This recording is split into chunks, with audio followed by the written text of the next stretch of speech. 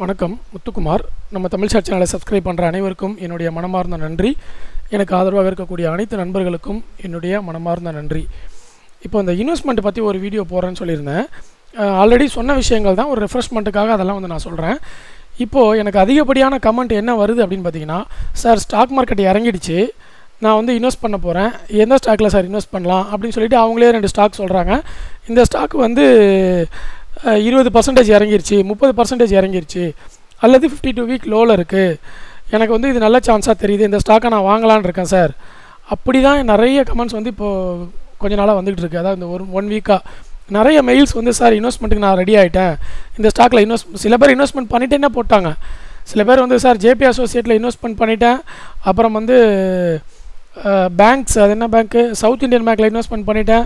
இன்னும் சில பேர் வந்து எஸ் பேங்க்கில் இன்வெஸ்ட்மெண்ட் பண்ணிட்டேன். சார் இந்த ப்ரைஸ்க்கு கிடைக்கவே கிடைக்காது. அந்த மாதிரி நிறைய கமெண்ட்ஸ் நான் பார்க்குறேன்.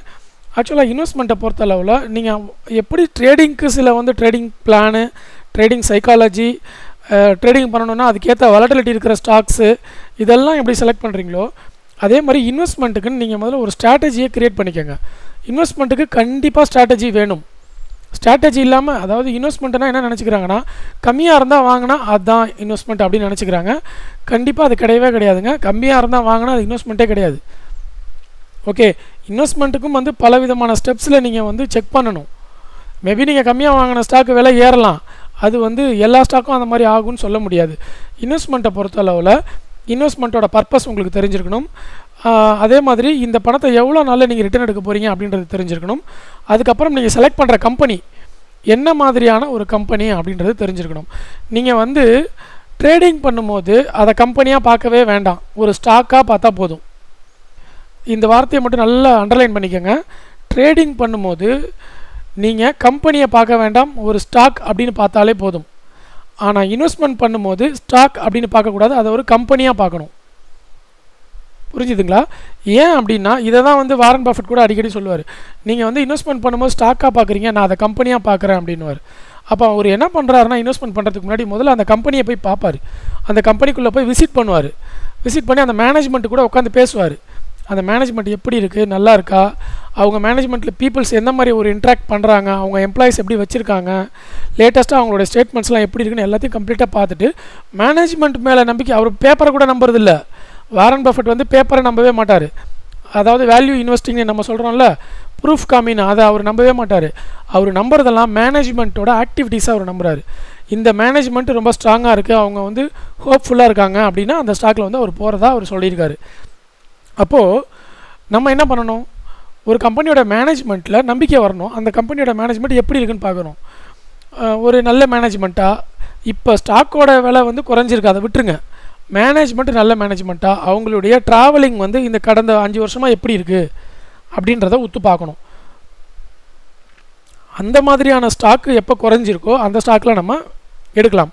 உதாரணத்துக்கு இப்போ வந்து ஜெட் ஏர்வேஸ் ஒரு சார் கேட்டிருந்தார். ஜெட் ஏர்வேஸ் செம்மையாக இறங்கியிருக்கு சார் எப்படி அந்த ஸ்டாக் ஏறிடும்ல? மேலே வந்துடும்ல? அப்படின்னு கேட்டிருக்காரு. ஆக்சுவலாக அதோட டைரக்டர் வந்து நல்ல ஒரு நம்பிக்கையான ஒரு ஆள் தான் இருந்தாலும் as per the management circulation அவங்களுடைய மேனேஜ்மெண்ட் இவ்வளோ நாளாக எப்படி இருக்குன்னு பார்த்தீங்கன்னா முதல்ல வந்து ஃபிஃப்டி டூ வீக்கு எட்நூற்றி எண்பத்தி மூணு ரூபாவில் இருக்குது இந்த ஸ்டாக்கு இப்போ நூற்றி எழுபத்தி மூணு ரூபாவில் இருக்குது ஃபிஃப்டி டூ வீக் லோவில் இருக்குது நூற்றி ஐம்பத்தி மூணு.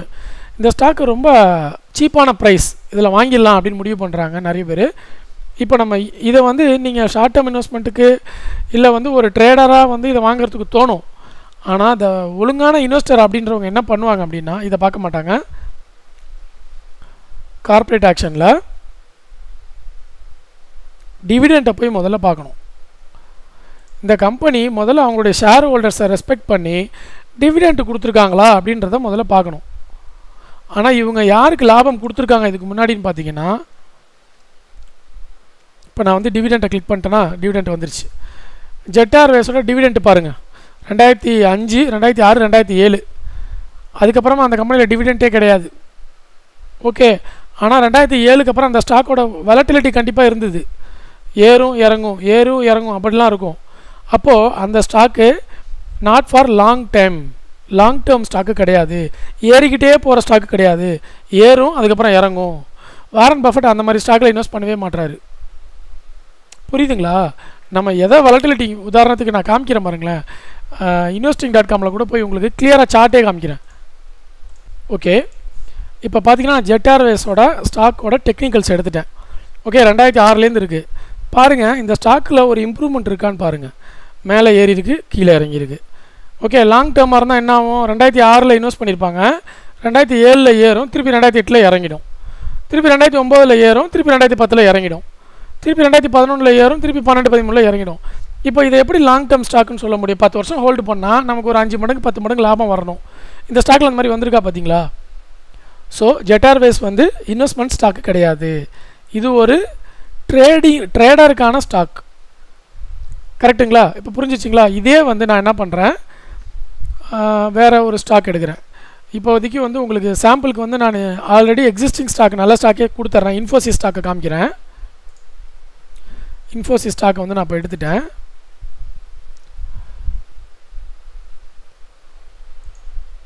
இன்ஃபோசிஸோட மேனேஜ்மெண்ட்டை பற்றி எல்லாருக்குமே தெரியும். அதில் இன்வெஸ்ட்மெண்ட் பண்ணவங்க எந்த அளவில் நம்பிக்கையோடு இருக்காங்க எப்படி இருக்காங்கன்னு. சரி நம்ம கார்ப்பரேட் ஆக்ஷனில் இவங்க டிவிடெண்ட் கொடுத்துருக்காங்களான்னு பார்ப்போம்.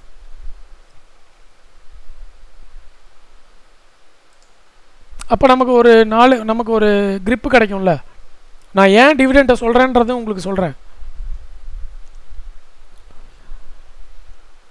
டிவிடெண்ட்டு கிளிக் பண்ணிட்டேன்.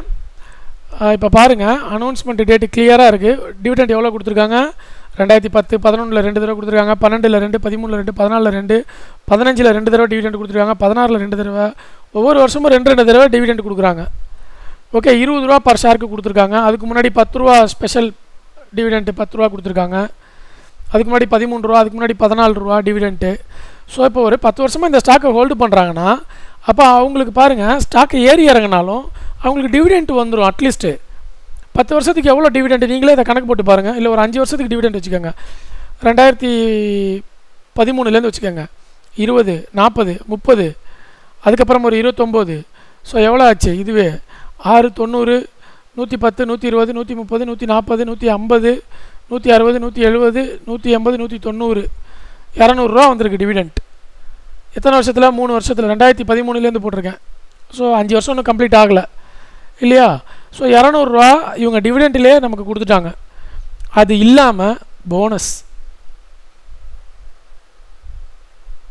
போனஸ் பாருங்கள் எவ்வளோ போனஸ் கொடுத்துருக்காங்க பாருங்கள் ரெண்டாயிரத்தி பதினாலு பதினஞ்சு பதினெட்டில் ஒரு தடவை கொடுத்துட்டாங்க.